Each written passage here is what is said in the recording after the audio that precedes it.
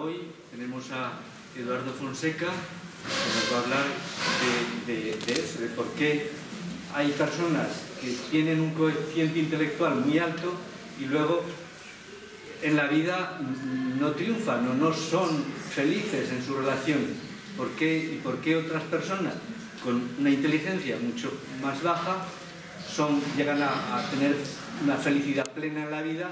¿A qué se debe? Pues, ¿por qué e, ese cambio? De eso nos va a hablar Eduardo en el, día, en la charla de hoy. Sin más, os dejo bueno, muy bien, pues nada, buenas tardes a todos. Eh, muchas gracias a José Luis por su invitación y a, a. Y luego también Pura, que está por ahí, está aquí representada la Universidad de La Rioja al 100%. Pues nada, eh, no sé qué esperáis de esta charla, eh, pero os garantizo que no os va a dejar indiferentes. Entonces, os felicito por venir aquí, porque espero que cuando se acabe vayáis para casa con la idea de que por lo menos algo aprendisteis. Aunque sea algo malo, pero por lo menos algo aprendisteis, ¿no? Bueno, muy bien.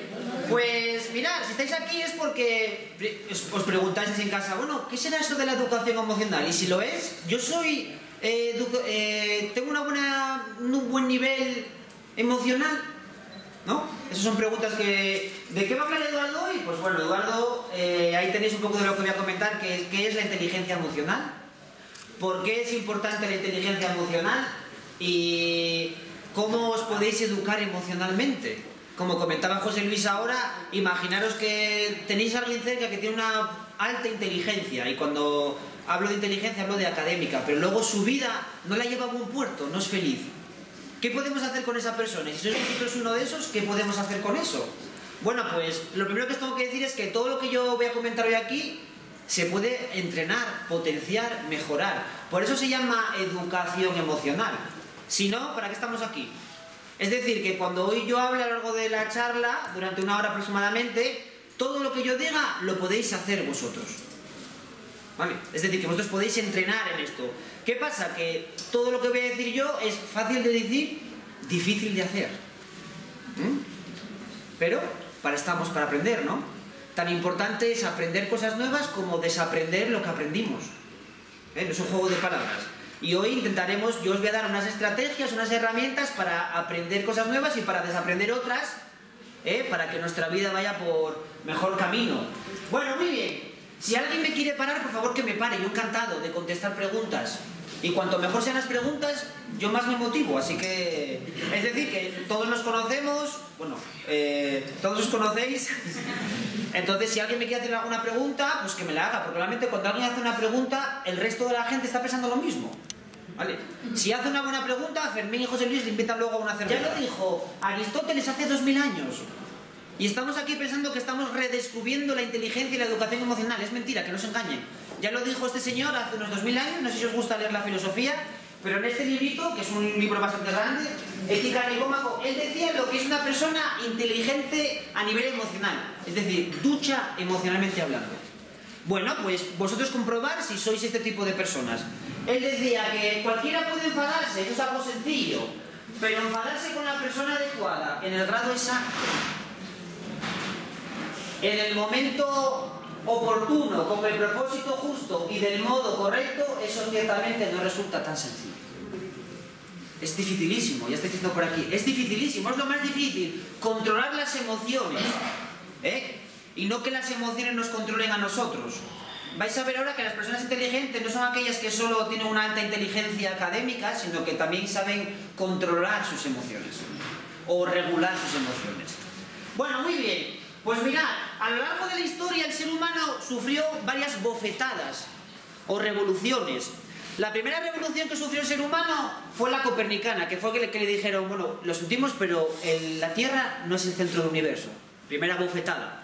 Segunda bofetada que nos dieron es la revolución darwiniana, que es que, lo siento, pero somos hermanos y primos de los chimpancés, de los bonobos. De hecho, incluso algunos autores nos llaman los eh, simios de pelo fino. Y es verdad, si vas a un zoo y ves a un gorila, no, nos diferenciamos mucho de ellos. ¿eh? Somos, de hecho, que sepáis que a nivel genético solo nos diferencia de ellos un 1,4%. Y entre cada ser humano un 0,2%. Es decir, que ¿eh? Bueno, de hecho también compartimos con los gusanos el 36% del, código genético. Por lo tanto, cuando estéis por la calle y le llaméis a uno gusano, es correcto pero impreciso. Bueno, muy bien. Continuamos. Luego viene la, revolución freudiana y seguro que conocéis a Freud. Freud dijo muchas cosas buenas y malas, pero una de las que dijo es que somos seres emocionales, antes que racionales. Eso de que cogito ergo sum, pienso, luego existo, es mentira. Es me emociono, luego existo. Si no hay emociones, no hay nada a continuación. Y si no, pensarlo en vuestra vida. ¿eh? Si no tuvierais contacto con vuestros seres queridos, etc, etc, etc. Y luego la revolución en la que estamos ahora, que es la revolución cerebral. Curiosamente, viajamos a la luna, conocemos el universo y lo que tenemos encima de nuestros hombros no lo, encima de nuestros hombros no lo conocemos. Y me atrevería a decir que no nos conocemos ni a nosotros mismos. No me atrevo a decir, de hecho lo digo. Si yo a alguien le preguntara aquí, por favor, cinco adjetivos que te definan positivos y negativos, alguno de vosotros, no digo quién, le echaría humo en la cabeza. Y no deja de ser irónico que yo vivo todo el día conmigo mismo y no me conozco a mí mismo. ¿Es irónico esto? Sí. Si yo os dijera, venga, cinco adjetivos que te describan, positivos y negativos, ¿los tendríais? ¿Saldrían así rápido? No, ¿por qué? Porque estamos educados y orientados a mirar hacia afuera. Y estamos muy poco educados desde pequeñitos a mirar hacia adentro, que metafóricamente sería como coger los ojos y girarlos así. Y si no me conozco a mí mismo, ¿a quién voy a conocer? Os pregunto. Pregunto, ¿quién me quiere contestar? ¿Alguien me quiere contestar? No, bueno, muy bien. Por lo tanto, primer principio, nos están engañando, no somos seres racionales. Eso de Homo sapiens sapiens es mentira homo pensante pensante, no, será homo emotionis emotionis, que es homo emocionante emocionante, emocionado emocionado. Bueno, mirad, vamos a hacer un experimento. ¿Eh? Sabéis que soy psicólogo y a mí me gusta hacer experimentos. Si no hago un experimento, no vivo. Vale, todos tenéis que levantar la mano. El que no levante la mano, fuera. Es broma. Bueno, entonces, ¿el juego cuál es? El siguiente. Yo voy a poner aquí dos fotos. Y os voy a hacer una pregunta. Está claro, ¿no? Sencillo está ahí.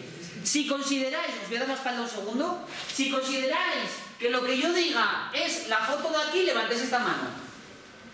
¿Está claro? Si lo que yo voy a preguntar consideráis que es la foto de aquí, levantáis esta mano. Y no vale pensarlo. El que tarde más de un segundo, eliminado del juego. Lo siento, no juega. ¿Eh? ¿Está claro el juego? Bueno, pues... Eh, Colocaros todos para levantar una mano sin pensar. Chin, chin, ¿eh? Bueno.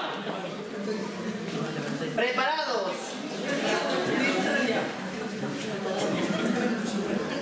¿Listos? ¿Alguien está nervioso? Bueno, rápido, ¿eh? ¿Quién tiró la piedra?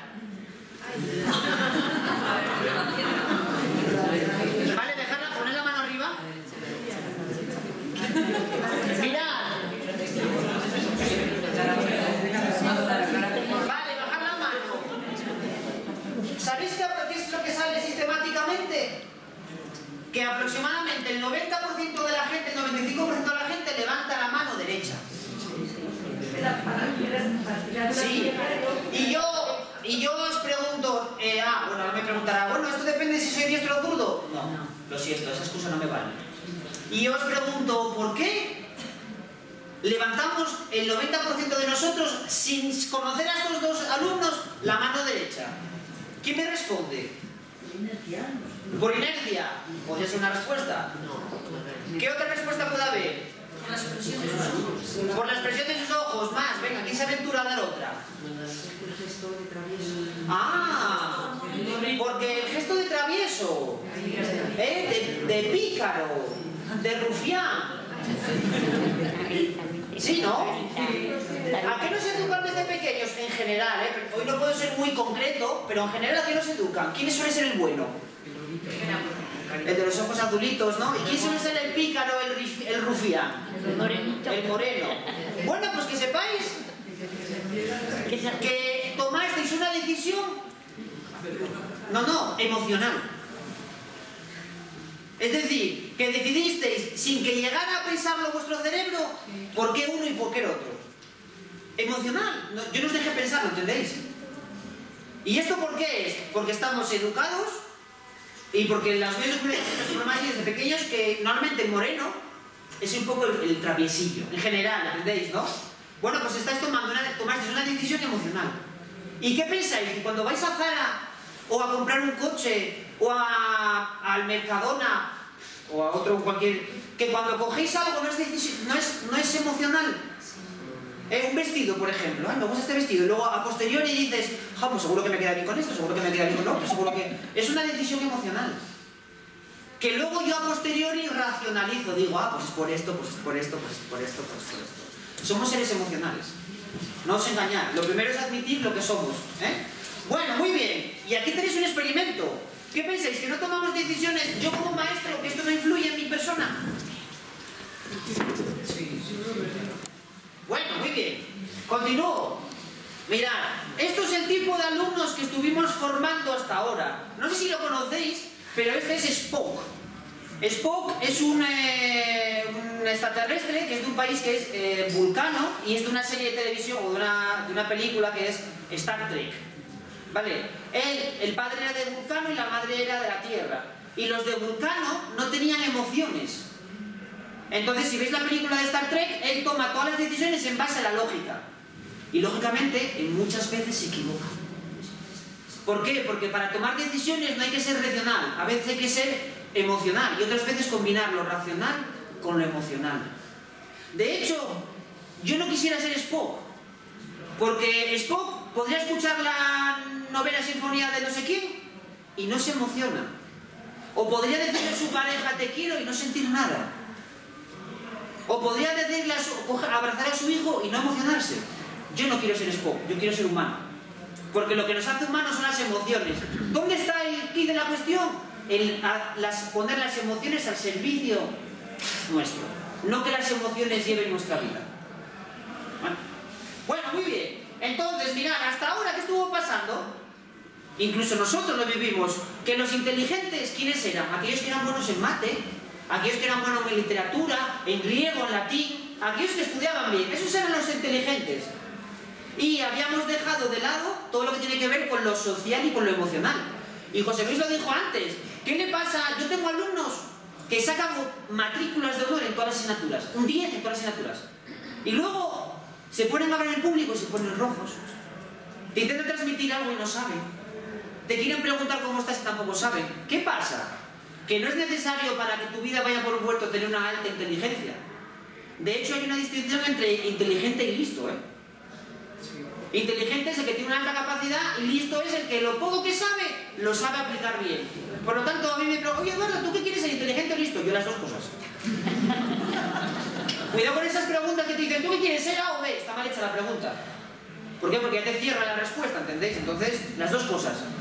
Bueno, muy bien. Por lo tanto, esta es la campana de Gauss-Laplace, que es cómo se distribuye la inteligencia. Aquí están los muy inteligentes, que son los de alta capacidad intelectual. Y esto es lo que predominaba hasta ahora, pero nos estamos encontrando que así no vamos a ningún lado.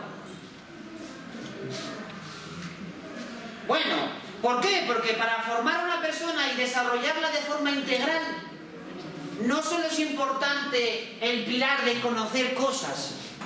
Alguien que te dice, ¿cómo es una central hidroeléctrica por dentro? Y tú lo dices no, ni incluso aprender solo a hacer cosas, que es ya algo más pragmático.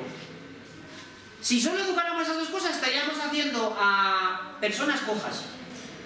¿Por qué? Porque al final la persona tiene que saber convivir con los otros. Si no sabe convivir con los otros, no va a ningún lado. Y no solo convivir con los otros, sino convivir consigo mismo. Y todos aquí sabéis, aunque no, lo, no me lo digáis, que vivir con los otros y vivir con uno mismo es difícil. ¿Eh?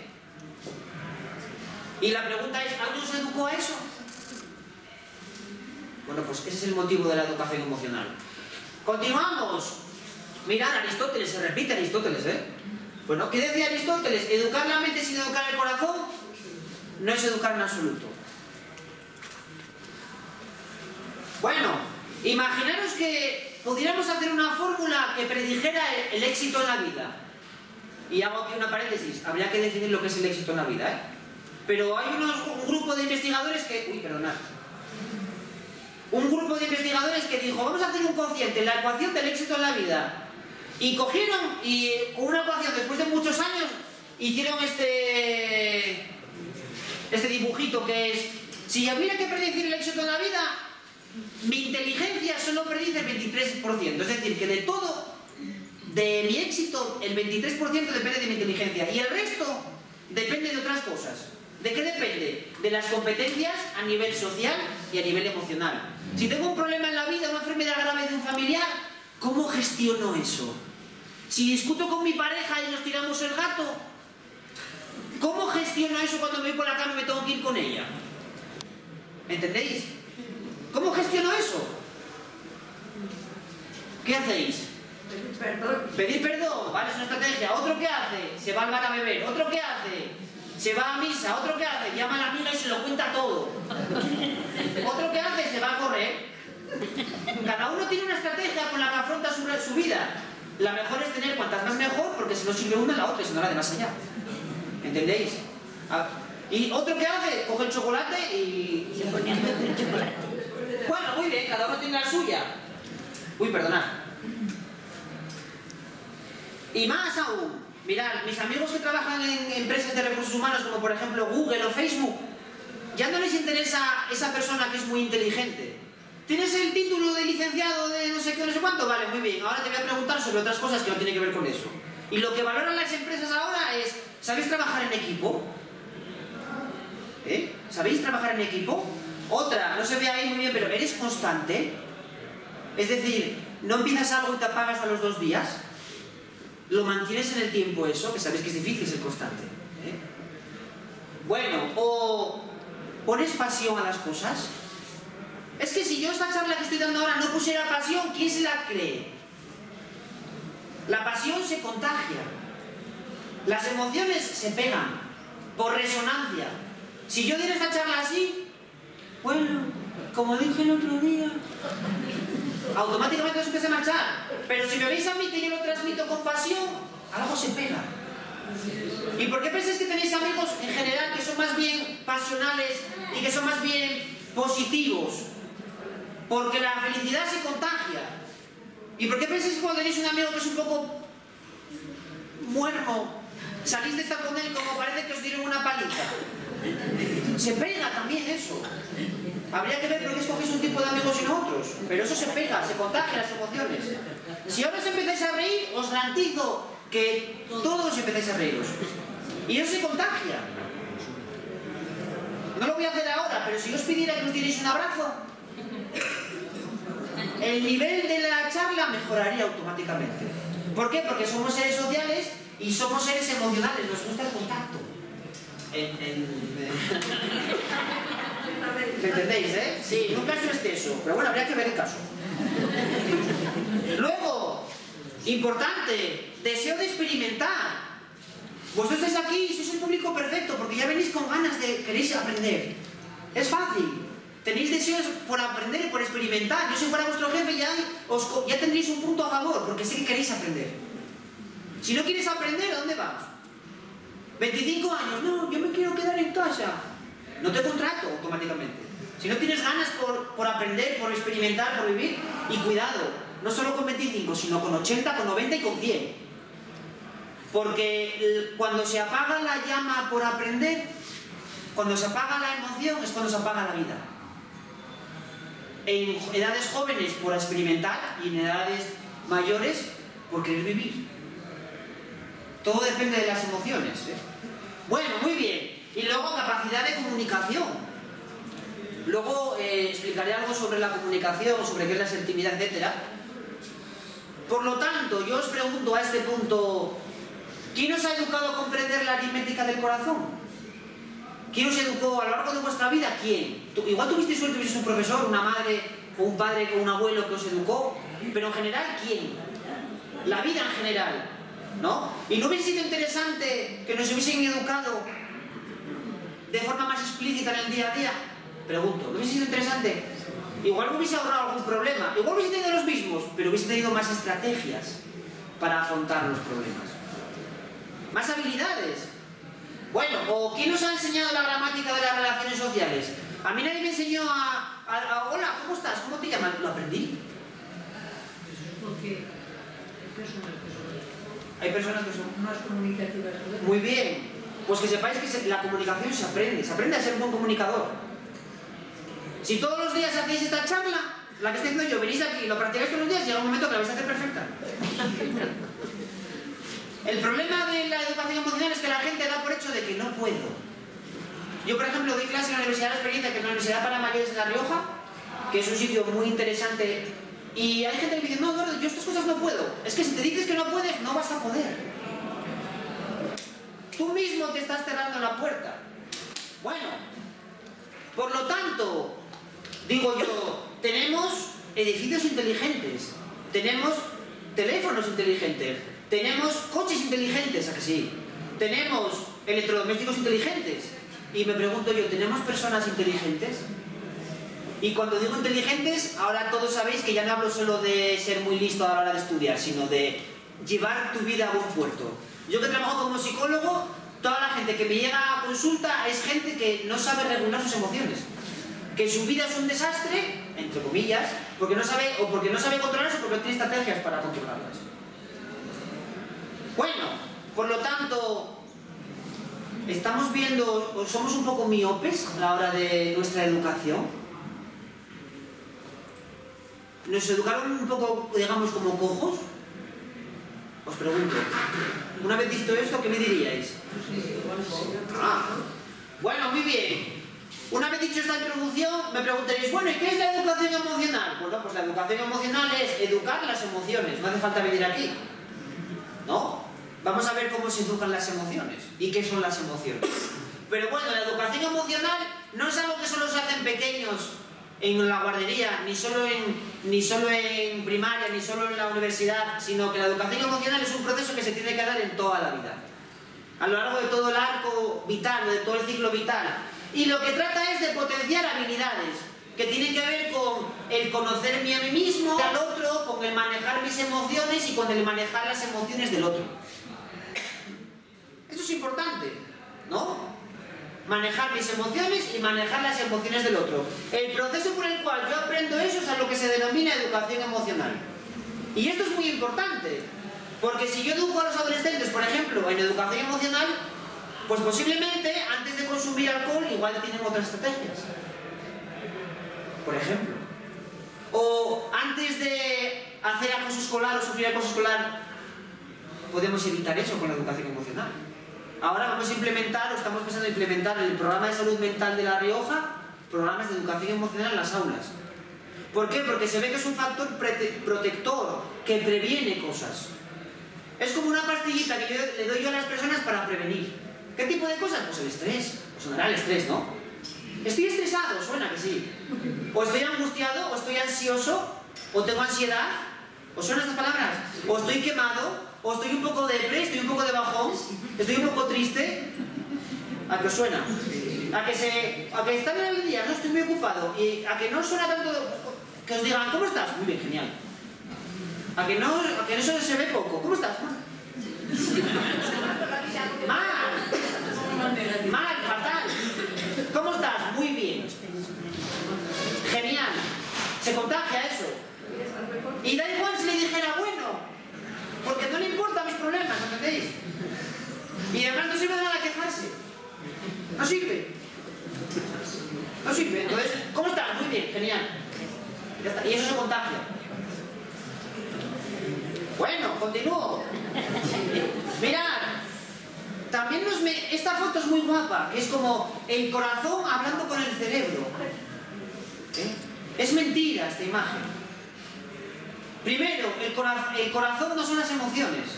Las emociones están en el cerebro.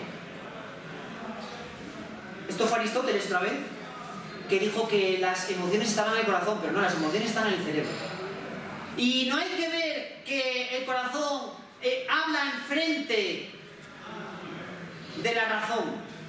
Eso está mal. Es un error. Lo que tiene que pasar es esto, que es la educación emocional. Que el corazón y la razón van de la mano. Que yo tengo que utilizar la razón, mi, razona- mi razonamiento, se llama técnicamente mi cognición, mis pensamientos, de la mano para que lleven mi vida a buen puerto. Como decía José Luis, que no, que no acaben haciendo cosas que no debería hacer. ¿Entendéis? Eso es lo que hay que hacer. Y yo, yo hoy os voy a enseñar estrategias muy rápido, ¿entendéis? Porque esto me daría para dar un, año, podéis estar hablando de esto. Un año. En la Universidad de la Experiencia y a mis alumnos les hablo un año de esto. Vale, entonces entender que tengo que, ser, tengo que hacer una, un formato abreviado. Bueno, mirad, esto es lo que le pasa a una amiga mía que va de compras. ¿No? O que tiene un examen y está nerviosa. Y el nerviosismo es una emoción. ¿No? La palabra emoción significa etimológicamente algo que me impulsa a moverme. Algo que me impulsa a la. a moverme, a la acción. Por eso cuando estáis emocionados os movéis. Y por eso cuando estáis emocionados estáis motivados. Aquí ya venís motivados, por lo tanto venís emocionados. La motivación y la emoción son la cara y la cruz de la misma moneda. Cuando yo emociono a alguien, yo le motivo. ¿Estáis emocionados ahora? Sí. Pues estáis motivados. Mucho. Alguno va a salir aquí y va a decir, yo tengo que hacer todo lo que haces. Y eso es lo que quiero. Y recordar, recordar que es difícil, fácil de decir, difícil de hacer. Pero yo no dije que esto fuera fácil, ¿eh? Bueno, por lo tanto, en esta persona tiene eh, ansiedad. Imaginaros, me dan una mala noticia.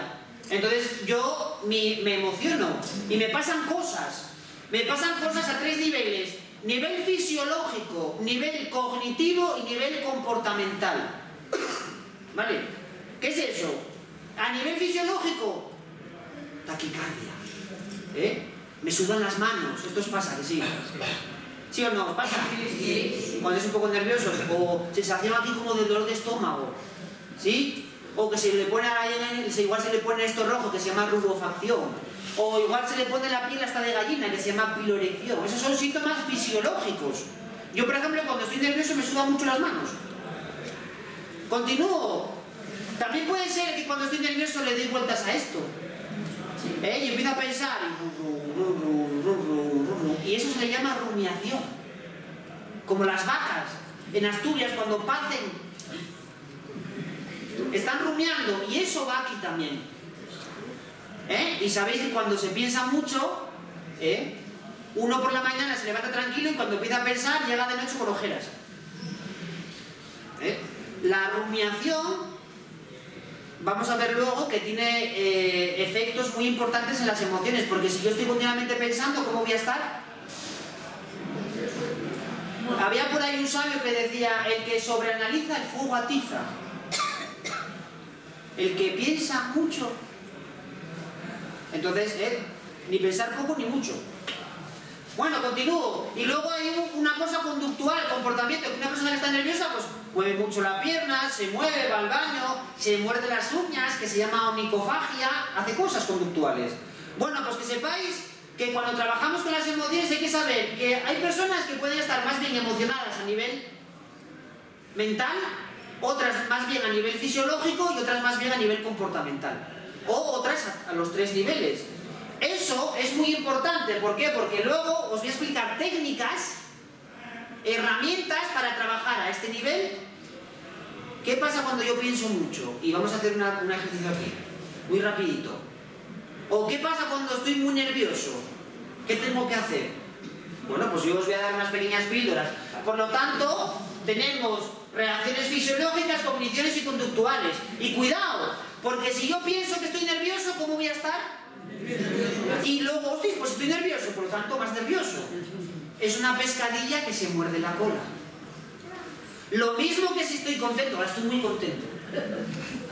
Eso hace que mi cuerpo refleje eso. Y no solo eso, sino que ya digo eso y mucha gente está contenta. Bueno, continuamos. Voy a hablar un poco del cerebro, pero esto es lo que tenéis sobre vuestros hombros. Entonces tiene aproximadamente pesa un kilo y medio. Si tiene la forma así como la textura como del hígado y, si lo tocáis sería como una especie de, como de mantequilla, más o menos así, ¿no? Eso es un poco el, el cerebro. Tiene diferentes zonas. Justo aquí, si yo abriera esto por aquí así, aquí estaría el, el lugar de las emociones. no puedo hablar sobre esto. Y luego es muy importante esta zona de aquí, que es el área prefrontal, esto de aquí. Lo voy a explicar, o bueno, si queréis lo explico ahora. Esto es lo que está prefrontal, es porque está, es lo que está por delante de lo frontal. Bueno, pues esto es lo que nos hace humanos. Esto de aquí. Si veis el cerebro de un eh, neandertal, lo tiene así, no sé si me, os dais cuenta. Lo que más se desarrolló en el cerebro en los últimos miles de años fue esta zona de aquí. Esta zona de aquí, y se supone que eh, nosotros moriremos, pero si sigue evolucionando la especie, esta zona iría así. Iría creciendo. No sé, vamos a, técnicamente nos vamos a hacer más altos y esta zona se va a ir desarrollando más, dentro de miles de años, ¿entendéis? Bueno, pues eh, si yo abriera aquí, aquí estaría eh, las emociones y las emociones, eso sería el cerebro vuestro abierto. ¿Sí? Hay, hay, tres niveles. A este cerebro se le llama cerebro triuno, porque es tres en uno. Es un modelo un poco antiguo, pero sirve con fines didácticos. No es del todo correcto, pero para explicar una cosa que yo quiero explicar aquí sirve. Mira, el cerebro, si su suponemos que Darwin tenía razón, venimos de del mono y antes del mono de alguien más vendríamos, ¿no? Sí, pues de los reptiles y antes de los reptiles de los peces y antes de los peces de las bacterias, si suponemos que eso es verdad, que vamos a decir, va, que es verdad, ¿no? Vamos a suponerlo. Bueno, pues nuestro cerebro, el primero que hubo se le llama el cerebro protorreptiliano, porque viene de los reptiles. A continuación, con los años, miles de años de evolución, porque la evolución fue cincelando el cerebro, pues viene el cerebro mamífero, que es el de las emociones. Y a continuación viene el cerebro humano, que es el de la razón. Por lo tanto, fijaros que las emociones están en la base. ¿Eh? Sería como la caldera, por ponerlo así metafóricamente. ¿eh? El cerebro protorreptiliano se rige por las tres Fs, que es food, fear and fuck. Que es food, comida, fear, que es miedo, y fuck, que es hacer el amor. ¿Vale? Entonces un día estáis en una discoteca de noche y se acerca un hombre un poco así muy mm, muy simio le decís, no te acerques a mí, cerebro protorreptiliano. ¿Por qué? Porque se está, se está eh, basando en lo más básico del ser humano, que es lo más básico. Bueno, luego vendría el cerebro emocional, que es donde están las emociones, el miedo, la felicidad. Ahí está en esa zona. Y a continuación vendría el córtex cerebral, que es lo que nos hace humanos. Y dentro de eso es muy importante el lóbulo prefrontal, esto de aquí. Esto de aquí es lo que nos hace que nos inhibamos cuando queremos hacer algo. Imaginaros que yo tengo eh, una enfermedad, una diabetes, y paso por delante de una pastelería. ¿Qué quiero? ¿Qué quiero? Decidme. Bueno, pues si no tengo, si esto no controla mis emociones, ¿qué hago? Esta zona de aquí, el córtex prefrontal, es lo que hace que controlar mis emociones. Es decir, no ser impulsivo. Eso es lo que hace esta zona de aquí, el córtex prefrontal. Por ejemplo, cuando alguien toma algún tipo de sustancias, por ejemplo el alcohol, el alcohol lo que hace entre muchos eh, aspectos es que esto deje de funcionar y por eso la gente se vuelve muy primate. Pensadlo, cuando se desinhibe, pensadlo, que se vuelve agresivo, muy básico. ¿Eh? No habría diferencia entre un simio y esa persona de... Bueno, es, broma, ¿eh? que nadie se lo tome a... Bueno, muy bien. Por lo tanto, esta zona de aquí, el córtex prefrontal, es lo que nos hace controlar, regular nuestras emociones. ¿Eh? Si yo os tuviera que grabar el cerebro con una técnica que se llama resonancia magnética funcional y os, pidiera que inhibiros, no hacer eso que queréis hacer, esta zona de aquí estaría echando humo. Es decir, que lo de los dibujos, metafóricamente es correcto, cuando echa humo, es verdad. Bueno, de hecho el cerebro es la parte del cuerpo que más glucosa consume. El cerebro consume toda la glucosa del organismo entre el 20 y el 25%. Por eso cuando pensáis mucho, estáis cansados, porque estáis consumiendo glucosa. Nuestros amigos en la universidad, que no hacemos un ejercicio físico, cuando llegamos a casa estamos agotados, porque hacemos un ejercicio intelectual. Y eso desgasta. Y más mis colegas que tienen un, cabezón, un cabezón, les cuesta, gastan más energía, ¿entendéis? Bueno, es broma.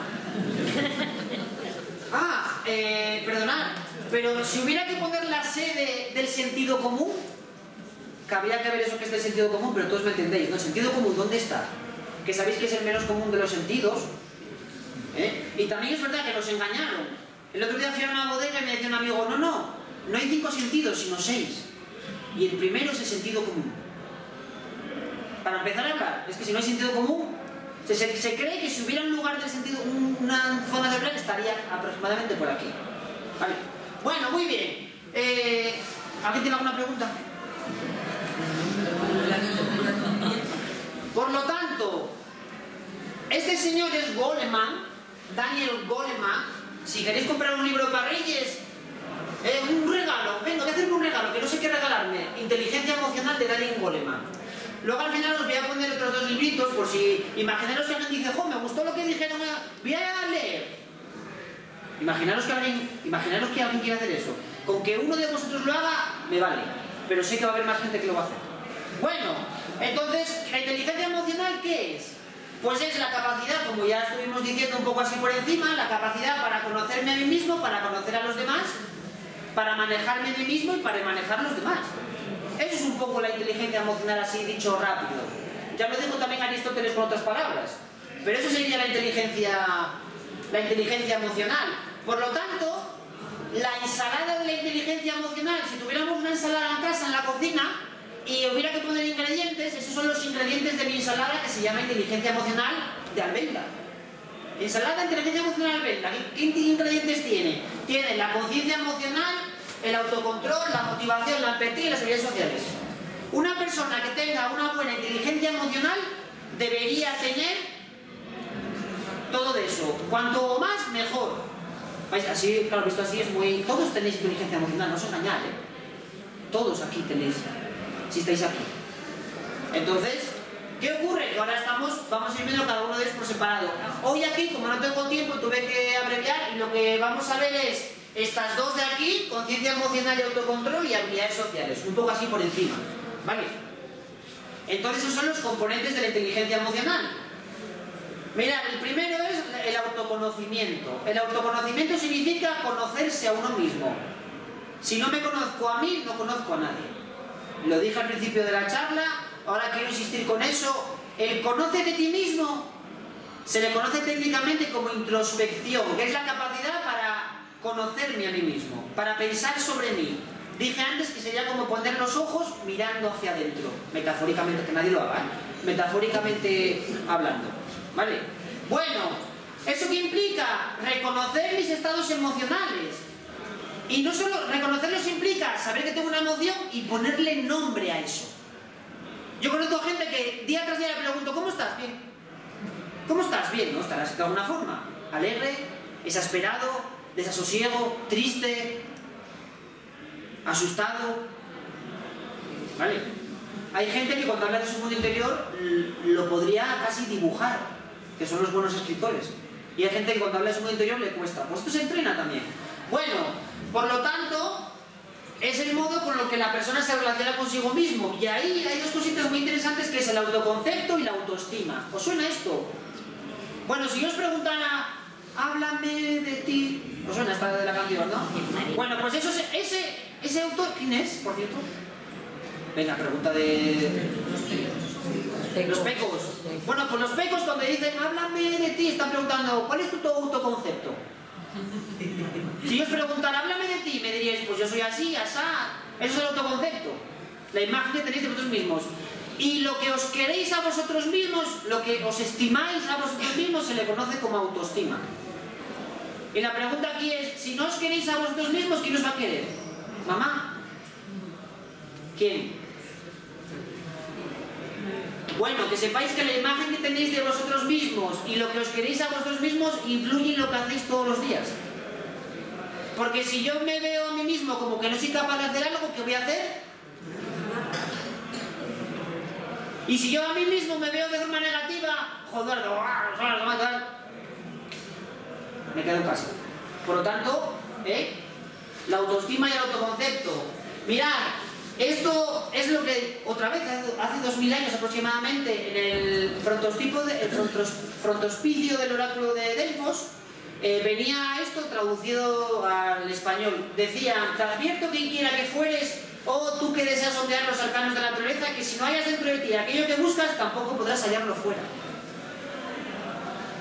Si tú ignoras las excelencias de tu propia casa, ¿cómo pretendes encontrar otras excelencias? En ti se halla oculto el tesoro de los tesoros. O, hombre, conoce a ti mismo y conocerás el universo. Es para que veáis que no descubrimos nada otra vez. Dos mil años. Bueno, mira, este es mi gato. Y claro, yo soy psicólogo, trabajo con mi gato, le hago que se mire al espejo y diga, tú no eres un gato, eres un tigre. Y empieza, "Oh, oh". Bueno, este es mi gato, yo trabajo con él. ¿Por qué? Porque, cuidado, ¿sabéis? Vosotros tenéis en vuestro alrededor gente que es gato, pero se ve tigre. ¿A que sí? ¿A que lo tenéis? ¿Y tú, cómo es posible que vaya así por la vida? Pues va. Y encima da esta envidia, qué felices, ¿no? ¿A que sí? ¿A que tenéis algún ejemplo vosotros? Bueno, pero cuidado, porque este, esta imagen cuando la veis así, el listo de turno piensa... "Eh, no, no, pero es que es en otra dirección. Porque hay gente que es tigre y se ve gato. Es decir, que tiene una infravaloración.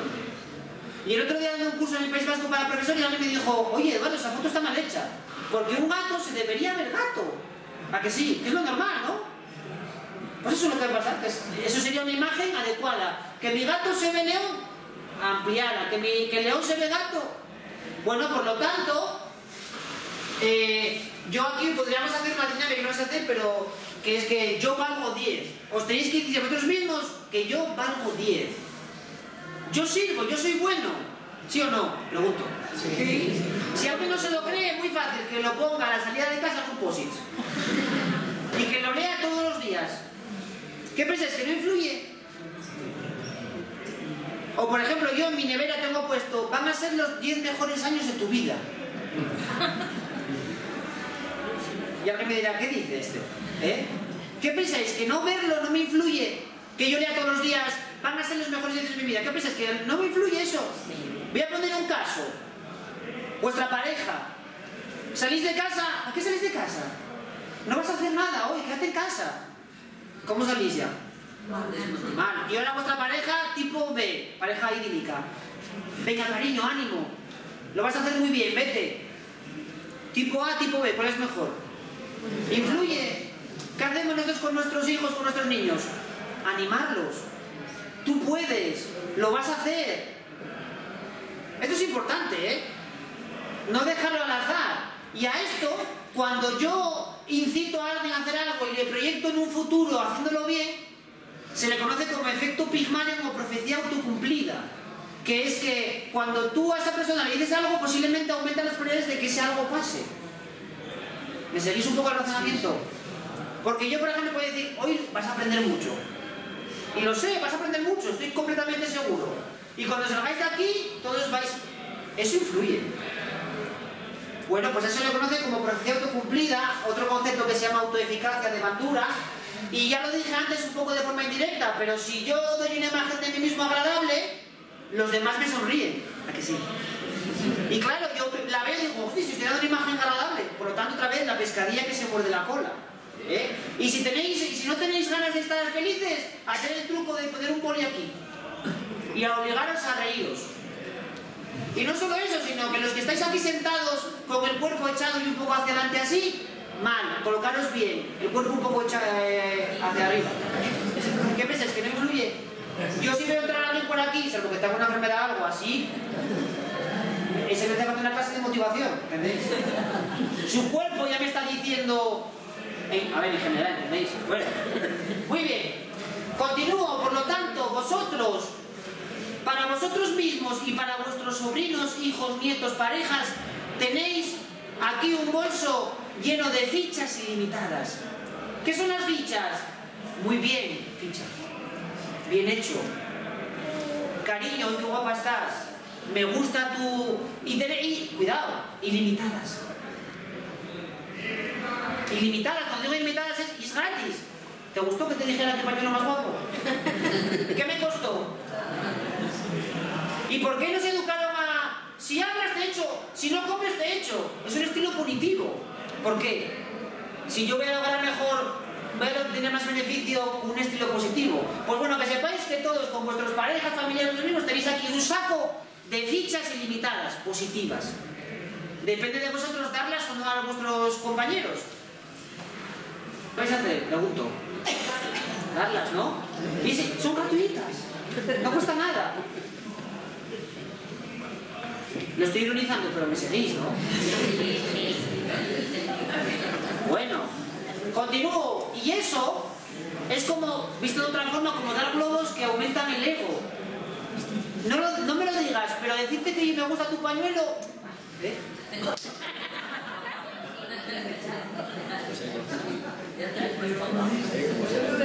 No lo voy a hacer aquí porque no tengo tiempo, pero podríamos hacer un taller de, del piropo. ¿Qué pensáis? ¿Que a la gente no le gusta que le diga me gustan tus gafas? Veo que estás entendiendo. ¿O preferís que le diga...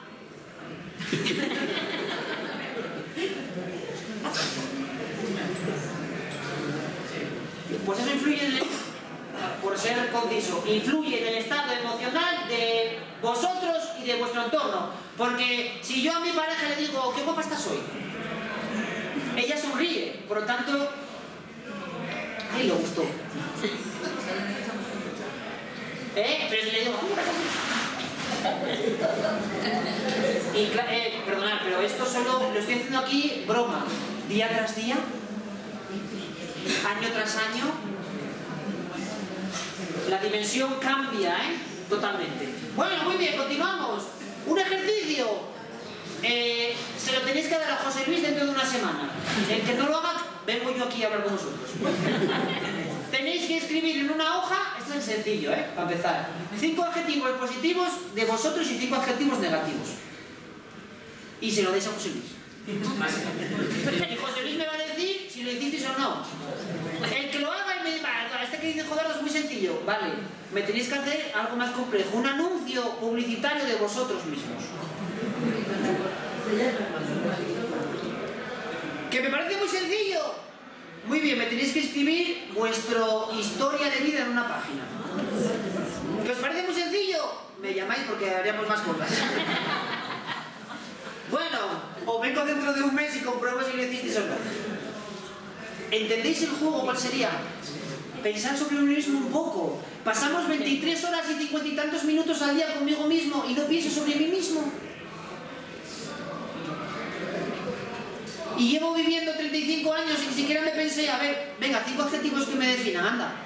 Positivos y cinco adjetivos negativos. Igual alguno lo hicisteis. Pero os garantizo, porque llevo dando esta charla en muchos sitios a aproximadamente unos 10 años, que no. Y si quisieras hacer este ejercicio, alguno se enfadaría conmigo.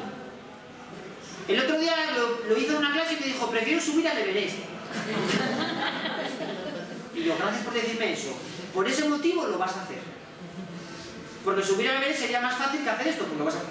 Bueno, muy bien. Ah, perdonad.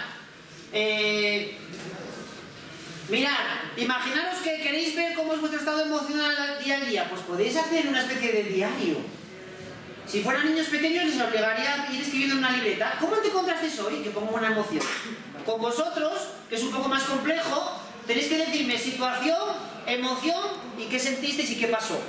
Y eso escrito, nosotros ahora, en adolescentes, lo estamos haciendo a través del móvil. Si es una aplicación que se activa y tiene que contestar, ¿cómo estás? ¿Alegre? ¿Triste? ¿Estás acompañado? ¿Estás solo?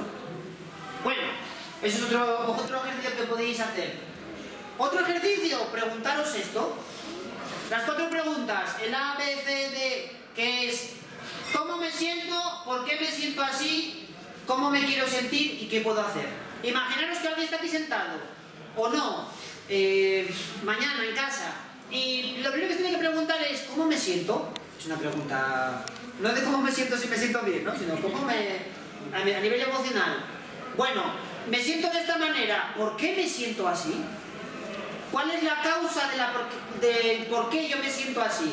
La siguiente pregunta es, ¿cómo me quiero sentir?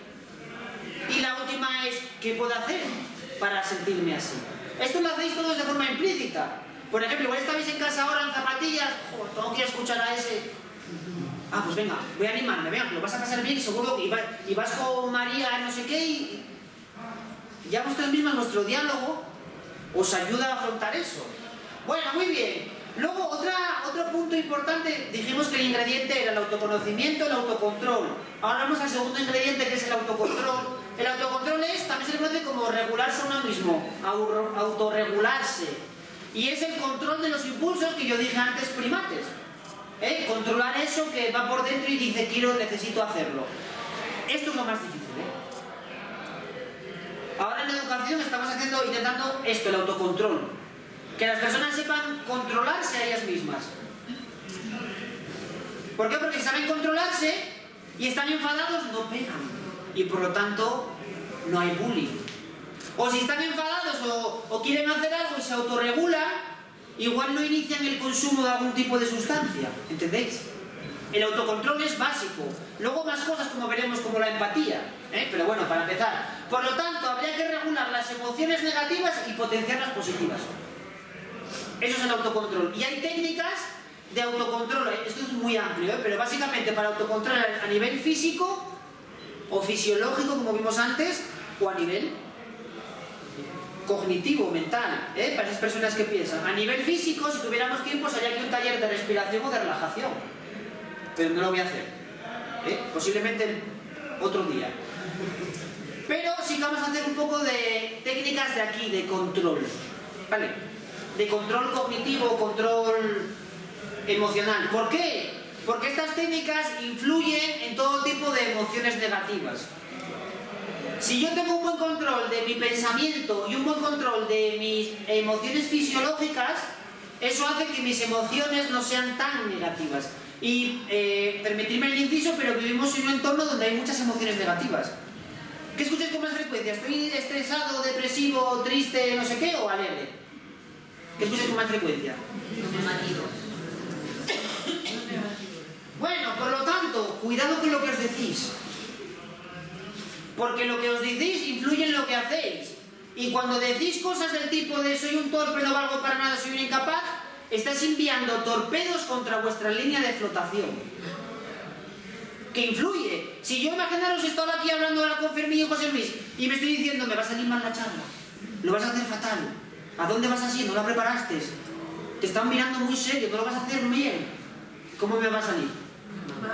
Pero en cambio si me digo, van a aprender, ya verás cómo alguien me hace una pregunta interesante, seguro que le es útil, ¿cómo, me- cómo posiblemente me va a salir? Mejor. Bueno, muy bien, pues cuidado con los que decís. Ahora yo os, os podría preguntar, ¿qué os dijisteis por la mañana? ¿Alguien tiene este tipo de diálogo interno? Bueno, mirad, por, por lo que veáis autores, otros que decían frases interesantes, pues si las queréis poner en el Facebook. La mitad de la belleza depende del paisaje y la otra mitad del hombre que lo mira. Continúo, no son las cosas las que atormentan a los hombres, sino las opiniones que tienen de ellas. Y seguro que conocéis a esta persona, o a dos personas de este tipo, que es que ante el mismo estímulo, que es un vaso, unos se ahogan y otros nada. ¿Qué quiere decir esto? Que la percepción que tengo yo de, la, de mi entorno influye en mi comportamiento. Ante un mismo estímulo, uno puede hundirse y ante ese mismo, ese mismo evento o circunstancia de la vida, otro no, flota. Por lo tanto, la percepción influye mucho en mi forma de comportarme. Y esa percepción, que sepáis que la aprendisteis. Y por lo tanto, si tenéis una percepción un poco negativa, se puede reeducar. Es difícil, pero se puede reeducar. ¿Quién considera aquí que tiene un, un, ve la realidad un poco más bien gris? No levantar la mano. Bueno, mirad, esta ley yo la tengo puesta en mi pizarra de casa. Que ya es, el tiempo ya, ¿no? Mirad, mi- en mi pizarra de casa yo tengo puesto pens. Y me dirá este, este, cuidado porque yo lo que digo lo aplico, ¿eh? Y las cosas que voy a decir yo hoy aquí os voy a decir, yo esto no lo aplico. Pero os lo recomiendo. ¿Por qué? Porque soy ser humano también. ¿Vale? Yo a veces voy en coche y no me autocontrolo, lo siento, no puedo. Pero forma parte de la vida. ¿Entendéis? Forma parte de la vida, es así. Entonces Pels, que es un señor que, que era de la corriente, una corriente alemana que se llama de la Gestalt, decía que el 40% de las cosas que nos preocupan no van a llegar a ocurrir nunca. Y si no me creéis, hacer un experimento. Levantaos por la mañana y escribir lo que va a pasar. Y cuando lleguéis de noche, leerlo. ¿Eh? Cuando os pasa algo, "Jo, tengo que ir a hablar con Fermín. Seguro que me va a decir esto, aquello, no sé qué, no sé cuánto". Y hablo con Fermín y él está feliz. Y estuve allí pensando una hora en casa, madre, tal. No pasó, no lo sé si va a pasar. Porque una cosa es ocuparse y otra cosa es preocuparse. ¿Mm? Y mientras estéis aquí, estáis ocupados, si estuvierais en casa estaríais preocupados. Depende de qué estuvierais haciendo. Por lo tanto, el 40% de las cosas que pensáis no van a pasar nunca. Y si no me creéis, hacer esto una semana. Hacerlo. No solo eso, sino que además el 30% ya pasó. Si ya pasó, ¿para qué me voy a preocupar? Continúo, no solo eso, sino que el 12% son cosas que tienen que ver con la salud, que eso ya es importante. El 10% son cosas que se eliminan entre ellas. ¿Nunca has pasado alguna vez que tienes un problema y él mismo se eliminó por otra cosa? Y solo el 8% merece mi atención. Por lo tanto, no os preocupar. Ocuparos. Yo siempre pienso en Pérez. ¿Pérez qué dice? Bueno, pues que aproximadamente el 50% de las veces esto que estoy presentando yo no va a pasar. Entonces, ¿para qué me preocupo? A veces yo voy a dar charlas y a charlas así a mucha gente y muy preocupado. Y lo que me digo a mí mismo es, ¿qué da si no me va a escuchar nadie? y me quedo tranquilo, es verdad. Pensamos que nuestra vida es la más importante, que, que cuando pasa algo es porque Dios está ap- apuntando a mi persona allí y yo fui... No, hombre, no somos tan importantes, ¿entendéis? Para nosotros mismos sí, pero en general en el mundo caminas por ahí y te das cuenta que hay gente que ni te mira. O sea, que no pasa nada. Bueno, ¿qué estoy haciendo con esto? Eso es una técnica que se llama reencuadre. ¿Qué es el reencuadre? Cambiar el cuadro de la situación. ¿Cómo lo reencuadro yo? Pensando en Pérez. No te preocupes, si el 50% no va a pasar. ¿Cómo lo hace un amigo mío? A 100 kilómetros hay gente que muere de hambre. Reencuadre te hace relativizar las cosas, otra técnica que. Bueno, mirad, esta es eh, una amiga mía que la acaba de dejar con su novio. ¿Os imagináis, no? A que os sonará esto, ¿eh? ¡Jo, María, soy un imbécil, un idiota, todavía le quiero! ¿Suena esto? Es un discurso un poco típico, ¿no? Bueno, pues María debería venir a este curso para decirle que María así no se piensa, se piensa así. Que es, es normal que me duela, todo es muy reciente.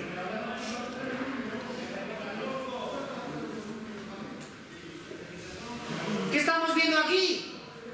Que lo que me digo influye en mi estado emocional. Que hay una serie de pensamientos que se les conoce como pensamientos negativos y otros que son pensamientos, esto no es de todo correcto, positivos, vamos a llamarlos normales. Del tipo de soy un desastre, no puedo soportarlo, me siento desbordado, todo va a salir mal, no puedo controlar la situación, lo hace a propósito. Y eso se puede cambiar por algo más normal, del tipo de soy capaz de superar esta situación, tendré éxito, esto puede salir bien, puedo lograrlo, posiblemente. Es decir, que cuando hoy estéis pensando en aquel lado, intentar pensar un poco más normal o no tan negativo. Por lo tanto, ¿qué, queréis? ¿Qué decidís?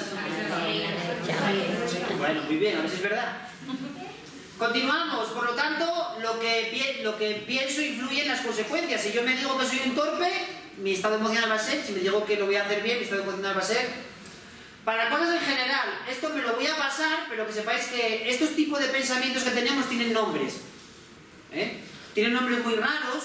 Si queréis, yo le puedo dejar a José Luis una hoja de este tipo para que los veáis y lo practiquéis en casa. ¿eh? Porque mi objetivo es que esto lo hagáis del día a día. Ese es mi objetivo, y si no, no lo cumplí.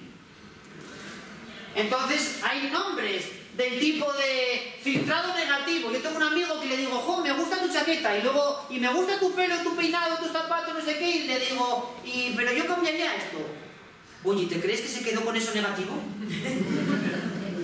Por favor, no, hombre, que le dije, te estuve tirando el pelo por 10 minutos. Eso se llama filtrado negativo. ¿Seguro conocéis a alguien así? Bueno, también es la de hipergeneralización, que es a partir de una cosa, voy por la calle, tropiezo y ya automáticamente soy un desastre, soy un torpe, todo el mundo se ríe de mí. No, hombre, tampoco será, oye, tropecé, no pasa nada. ¿Se rieron? Pues genial, que se ríen. También me río de mí mismo. Y continúo. Bueno, eh, esto me lo paso con vuestro permiso y voy a hablar un poquitito de habilidades sociales, cinco minutitos o diez, o queréis que hable más tiempo.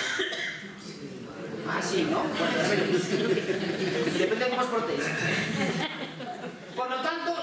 sociales. Vamos a ver, dije antes, somos seres emocionales. Principio. Segundo principio, somos seres sociales. Somos en la medida del otro y somos en la medida con el otro. De hecho, si no tuviéramos de esto alrededor, no existiríamos. ¿Entendéis? Un ermitaño que vive en el monte y no lo conoce nadie, solo existe para él. Somos la medida que está a nuestro alrededor y somos reflejo de los otros. Porque si yo eh, voy con Fermín por la calle ahora mismo por Albelda y nos dice, ¡eh, guapos! ¡eh, inteligentes! ¡eh, no sé qué, no sé cuánto! Jopela, cuando lleguemos aquí, Fermín y yo nos miramos. ¿No? Pero también puede pasar el caso de que bajamos del coche, carapedo. Claro, llegamos aquí y pasa algo. Posiblemente nos digan los nombres. Se están riendo de nosotros. ¿Por qué? Porque, que, eh, perdonad, no puedo hablar de esto, pero el autoengaño, vale, sirve, ¿eh? Todos nos autoengañamos. Y algunas veces eso sirve, ¿eh? ¿Por qué no? Porque tengo que pensar, va, no pasa nada, ¿eh? Entonces, las habilidades sociales son muy importantes, porque tenemos que saber llevarnos con el otro, decirle, hola, ¿estás bien? ¿Te encuentras bien? ¿Te veo un poco triste? ¿Te puedo ayudar en algo? Esto tiene que ver con la empatía. No sé si conocéis esta palabra, que no simpatía. La empatía es ponerse las botas del otro, sentir con el otro. Y es muy importante, ¿eh? porque si yo te veo un poco triste, te pregunto, ¿estás bien? ¿Te puedo ayudar? O si tengo un problema en la escuela con alguien y soy empático, le voy a ayudar y no le pego. ¿Entendéis? No le agredo. La empatía es muy importante para el día a día. Curiosamente, mi impresión es que las personas son muy empáticas, pero la imagen que está en los medios de comunicación es todo lo contrario. Pero yo en el día a día miro el mundo y veo mucha empatía. Miro el el periódico y digo yo, madre Dios, estamos en guerra mundial. No, en el día a día la gente tiene mucha empatía. Yo veo ayudar sistemáticamente en el día a día. Bueno, por lo tanto, las habilidades sociales es algo muy importante. ¿Qué son las habilidades sociales? La habilidad que tengo yo para manejarme, para hablar, para preguntar, para liderar. La asertividad y la escucha activa, la asertividad y la escucha activa son dos aspectos muy importantes dentro de las habilidades sociales. Que es, voy a hablarlo un poquito muy rápido así y con eso lo dejamos. Mirad, esta es la conversación que tengo yo con mi pareja. La comunicación es muy importante, ¿eh? Ella me dice, vete al súper, limpia el sofá, friega y saca los platos. Os suena esto, ¿no? Mira si hay leche, cuelga la ropa, quita el polvo de la tele, compra el desgrasador. Madre, ¿qué entiendo yo? Vete al sofá y mira la tele un rato. La comunicación es muy importante. Hay que saber comunicar bien. Porque si no comunico bien, no me entiendo con el otro. A ver, ¿qué te dije? Repítemelo. Ah, muy bien, pues sí, nos entendimos. Bueno, no solo eso. Imaginaros que eh, el otro también es muy importante en el día a día. Imaginaros que vais un día aquí en Almenda a comprar a la panadería, ¿no? O, vais, o venís aquí. Ahora, y vais por la calle, sois este. Os imagináis, ¿no? Estáis ahí, bueno, y os coge una amiga o un amigo que viene con una película de miedo. Y lógicamente la suelta. Voy a hacer un inciso. Hablar de los problemas a alguien que os escuche. El simple hablar, el simple hecho de hablar de los problemas tiene un efecto catártico. ¿Qué significa eso? Que reduce el problema. ¿Eh? No, a ver, cuidado que se lo contáis. Pero estoy hablando de un caso normal, ¿entendéis? ¿no? Dentro de la normalidad, eh, aunque la normalidad es un poco, no sé cómo define normalidad, pero eh, os cuenta el problema y este ya empieza un poco, fijaros aquí una mini ojera, pero claro, sigue, porque tiene una película de media hora. Y sigue y sigue. Y claro, ¿qué pasa? Que él está todo feliz y este se queda todo compungido. Esto hay que saber manejarlo. ¿Qué le hubiese dicho yo? Que te entre por aquí y te salga por allí. Porque mirad cómo quedó el pobre y este va todo feliz. ¿Qué pasa? Que esto es ad infinitum porque este lo que debería hacer es coger a otro. Si yo hiciera un cuento de esto, sería esto repetido 30 veces. Bueno, sin más, es broma. Esto es el, para que veáis todo el, el proceso. Bueno, esto me lo paso con vuestro permiso. Iba a hablar de la comunicación eh, de la, la importancia de la comunicación no verbal. Porque que sepáis que cuando hablamos con el otro es más importante el cómo lo digo que el qué digo. Eh, repito, es más importante el cómo que el qué. De todo lo que yo digo, os estáis, queda- os estáis quedando en el noventa y tantos por ciento con lo que yo transmito con mi cuerpo. Y solo un 7% con lo que vocalizo. Es muy importante esto. ¿eh? Porque aunque yo no quiera, siempre estoy comunicando. Siempre. Siempre. Que alguien diga, venga, no, no comunicarme, no decirme nada. Ya lo estáis diciendo. ¿Eh? Ya lo decía, no sé si era Freud, no recuerdo el autor, que decía, incluso cuando no quieres, hasta tus- los poros de tu piel musitan palabras de amor. Mi pareja cuando está enfadada conmigo se pone de perfil en el coche así. Y cuando me mira con ojos así, pues yo, ¿me entendéis? Es un poco el comunicación no verbal. Bueno, eh, con vuestro permiso esto me lo paso. Iba a hablar un poco de la comunicación no verbal, pero me lo paso, ¿vale? Y quería hablar un poco de la asertividad. Que la asertividad es básicamente, eh, la gente lo llama como el saber decir no, pero es más allá. Ser asertivo implica, como tenéis ahí escrito, es una capacidad para expresar mis, sen- mis sentimientos, mis emociones, respetando mis derechos y los del otro. Es decir, decir lo que pienso y siento sin ofender al otro. Y una de esas cosas es saber decir no. Hay un librito por ahí, es ¿por qué dije sí cuando quería decir no? O algo así, es un título similar. Es un poco eso, ¿no? Que a veces yo le quiero decir al otro lo que siento y, lo que estoy padeciendo y no lo digo. ¿Entendéis? Y me quedo yo... Bueno, pues la asertividad es muy importante. La asertividad tiene derechos y la persona asertiva tiene derecho a no ser asertiva. ¿Eh? Porque puede ser o pasiva o agresiva. ¿Eh? Depende de la circunstancia.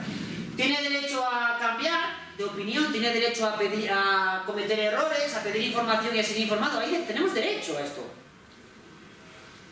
¿Eh? Típico de no, como me dices no puedes cambiar de opinión. No, como que no puedo cambiar de opinión. Puedo cambiar de opinión. Bueno, eh, os iba a hacer aquí un juego que era como los tres pasos de la asertividad, pero no, no lo voy a comentar porque ya me pasé un poco de la hora, pero que sepáis que hay una serie de pasos. Si quisierais hacer esto, me, escribís que os... Y luego hay, os voy a explicar tres técnicas para vuestro día a día. Tres técnicas asertivas. La primera es el disco rayado. El disco rayado implica decir lo mismo si- sistemáticamente. Imaginaros que vinieran a vuestra casa a venderos, como antes, una enciclopedia. Venga, esta enciclopedia es muy buena. No, tú siempre. No, bueno, ahora no puedo porque tengo otras inversiones. Y él te dice, no, pero tienes que comprarla y tú. No, bueno, ahora no puedo porque, no obstante, déjame pensarlo. No, no, pero tienes que comprarla porque si no la compras no sé qué. Bueno, no obstante, no, déjame pensarlo. ¿Entendéis? Eso es el disco rayado. Repetir lo mismo. Esto, dicho así, eh, puede ser un poco obvio, pero imaginaros que es un adolescente que empieza, eh, que está con los amigos y no consume alcohol. Y le dice a los amigos, venga, vamos a consumir alcohol, vamos hasta ahí al botellón. Si no vienes con nosotros, eres mal amigo. Y él dice, no, no puedo ir. Ya, pero es que si no vienes con nosotros, eres en la pandilla. Si supiera esta técnica, dice, no, no, bueno, voy con vosotros, pero como sabes, no me gusta beber, ¿no? Eso es el disco rayado. Repetir lo mismo. Bueno, otra técnica muy interesante es el banco de niebla. Realmente se conoce como claudicación simulada, que es como ceder terreno sin cederlo. Y queda muy bien que es, si veo que tiene razón, no obstante yo pienso que, esto suena, es como ceder terreno sin, eh, sin cederlo realmente. Eso sería el banco de niebla, es una técnica muy interesante. Imaginaos que alguien aquí opina algo ahora mismo y dice, no, no, yo pienso que te... y yo, no, si tienes razón. No obstante, yo pienso que... ¿Vale? Porque todo el mundo tiene su parte de razón. Y la que más me gusta a mí, que os la recomiendo, es la técnica del sándwich. O la técnica de la hamburguesa, de la hamburger. ¿En qué consiste esta técnica? Que siempre cuando habléis con alguien, siempre hay que hacer positivo, negativo, positivo. O positivo, crítica, constructiva, positivo. Por ejemplo, imaginaros que alguien, eh, un alumno viene a mi despacho, o un alumno me envía un trabajo por email, y yo le digo, y me voy a- eh, leo el trabajo, y le digo, muy bien, veo que has trabajado mucho, no obstante, yo cambiaría esto, esto, esto, siga así, lo vas a hacer muy bien. A la gente le gusta escuchar lo positivo, que le corrijan un poco y posteriormente lo negativo. Por ejemplo, para un sobrino vuestro, un nieto, bueno, veo que lo has hecho muy bien, no obstante intenta corregir esto, ¿qué te parece si lo cambiamos? Esa es una técnica muy interesante de asertividad. Bueno, y luego es muy importante que seáis todo orejas. ¿Qué significa esto? Que hay que escuchar. Y cuando se escucha, se escucha con el cuerpo y con la mirada. Y cuando, aquí por ejemplo, os habéis escuchado porque miro para vosotros y estáis mirando para mí y estáis haciendo. Claro, es importante. ¿Qué me estáis diciendo? Te estoy escuchando. Es muy importante porque si yo ahora mismo estoy hablando con alguien está así no se mueve, no sé si me está escuchando o no. Es muy importante el feedback, ¿entendéis? Decirle al otro, te escucho. Y te escucho, y no solo te escucho, sino que eres lo más importante para mí. Es la escucha activa. Es muy importante esto, ¿no? ¿Por qué? Porque a veces estamos escuchando, imaginaros que yo estoy hablando con ella y tengo una presentación que te estoy escuchando. Pero a veces estamos escuchando y estoy un poco girado así. Le estoy diciendo con mi cuerpo... Imaginaros que estáis en una discoteca, por poner un caso, ¿no? Y os viene a hablar un chico. Si el chico os ve hacer esto, él entiende que no me hace caso. Pero si el chico y os, os uy, qué guapo no sé qué, y os giráis, claro, él ya se dio cuenta de que estáis escuchando, o os interesa, ¿entendéis? Eso es la escucha activa, que os interesa. Bueno, y lo paso, que es, es un poco lo que es la escucha activa. Si queréis ampliar información, a mí, imaginaos que, Eduardo, yo quisiera comprar un libro porque esto me gustó. Yo compraría el libro de Inteligencia Emocional de Daniel Goleman o este libro de aquí, Educación Emocional para Familias y Educadores. Y ahí viene qué es y cómo se puede entrenar eso en el día a día. Es un regalo para Reyes. Yo no, yo no, tengo, no gano nada aquí, o sea que... Bueno, mirad, y para acabar, para acabar, eh, yo os quiero dar mi, mi, mi píldora, que no es una pastilla, no hace falta pastillas. Y esto ya lo dijo hace dos siglos Fray de Salas, y dijo, vida honesta y arreglada, usar de pocos de medios, no reparar en los medios, de no alterarse por nada, ejercicio y diversión. No tener nunca presión, salir al campo algún rato, poco encierro, mucho trato y continua ocupación. Bueno, muy bien. Nos podríamos copiar, ¿eh? Por supuesto, pues nada, gracias a mis compañeros de trabajo y muchas gracias a todos por...